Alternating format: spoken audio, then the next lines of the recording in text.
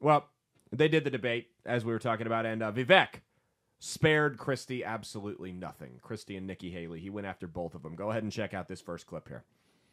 I want to say one thing about the tie to Ukraine, if I may. So, foreign policy experience is not the same as foreign policy wisdom. I want everybody at home to note that I was the first person to say we need a reasonable peace deal in Ukraine. Now, a lot of the neocons are quietly coming along to that position, with the exceptions of Nikki Haley and Joe Biden, who still support this, what I believe is pointless war in Ukraine. And I think those with foreign policy experience, one thing that Joe Biden and Nikki Haley have in common is that neither of them could even state for you three provinces in eastern Ukraine that they want to send our troops to actually fight for. Look at that. This is what I want people to understand. These people have, I mean, she has no idea what the hell the names of those provinces are, but she wants to send our sons and daughters and our troops and our military equipment to go fight it.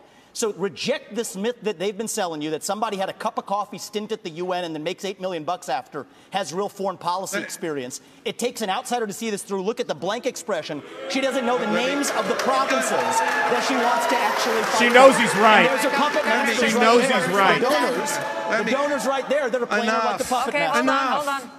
That look on her face is the look of someone who knows that he just got her.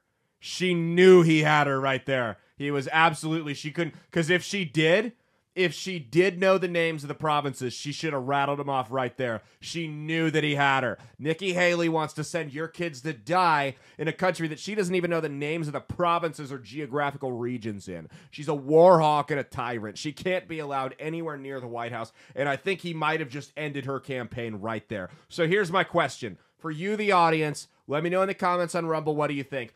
What do you think Nikki Haley's next job will be after this campaign comes to its inevitable end? Mia, what do you think? What, what's Nikki Haley gonna do? I'm thinking OnlyFans. I was gonna say. OnlyFans. OnlyFans. Yeah. OnlyFans. I think that's her only move. But you know she's like a dominatrix too, right?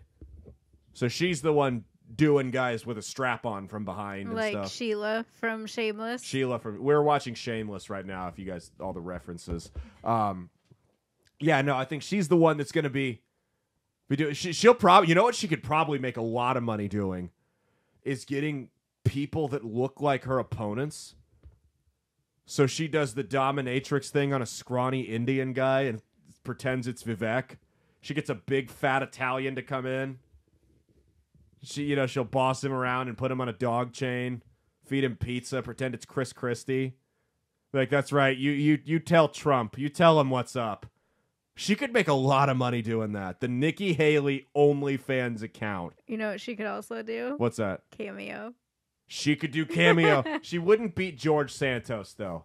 Nobody wants that shrill. Okay, think about this. You have four hundred dollars burning a hole in your pocket. Are you going to get it from that shrill, pandering war criminal that looks like she's never laughed a day in her life unless it was at the suffering of small children? Or are you going to get it from a catty gay man in a sweater that's two sizes too small? What are you going to spend your money on? Of course you're going to get Santos. She'd get wiped out. It wouldn't be close.